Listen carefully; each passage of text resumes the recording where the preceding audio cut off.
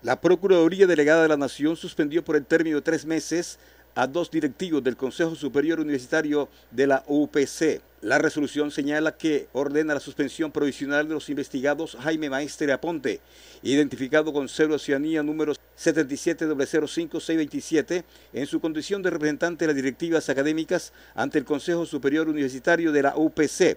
y a Farid Alberto Campo Baena, identificado con la cédula ciudadanía número 7.636.520 como representante de los estudiantes ante el Consejo Superior Universitario de la UPC por el término de tres meses, a partir de la fecha sin derecho a remuneración durante el término de la misma. Señala el parágrafo primero que el término inicial podrá prorrogarse hasta otro tanto y se extenderá por tres meses más una vez proferido el fallo de primera instancia. La presente suspensión provisional recae sobre las funciones como miembro del Consejo Superior Universitario, más no sobre sus cargos ni remuneración al interior de la universidad. Segundo oficial rector de la Universidad Popular del Cesar, solicitándole que le dé cumplimiento a la presente decisión en relación con Jaime Maestre Aponte, identificado con la cédula de ciudadanía ya conocida en su condición de representante de las directivas académicas ante el Consejo Superior Universitario de la UPC, y Farita Alberto Campo Baena, identificado, como ya se dijo, como representante de los estudiantes ante el Consejo Superior Universitario de la UPC y envíe oportunamente copia de la actuación para que haga parte del expediente. Tercero, consultar la presente decisión de suspensión provisional